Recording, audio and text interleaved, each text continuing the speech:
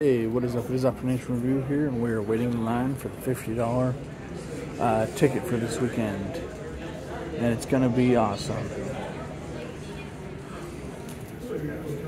Anyway, guys, this was OptiNation Review, and uh, have a great night, everyone.